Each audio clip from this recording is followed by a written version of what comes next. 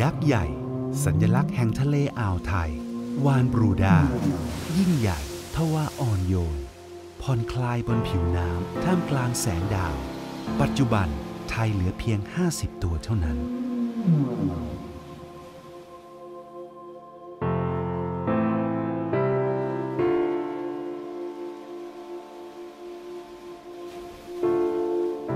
ให้ทุกความรู้สึกประทับใจไม่ได้อยู่แค่เพียงภาพถ่าย ร่วมอนุรักษ์ธรรมชาติอันล้ำค่าของไทย โครงการปลูกจิตสำนึก อนุรักษ์ธรรมชาติและสิ่งแวดล้อม การประกวดภาพถ่าย สัตว์มีค่า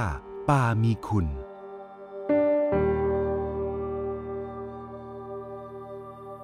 โครงการโดย กรมอุทยานแห่งชาติสัตว์ป่าและพันธุ์พืช เครือเจริญโภคภัณฑ์ดำเนินโครงการโดย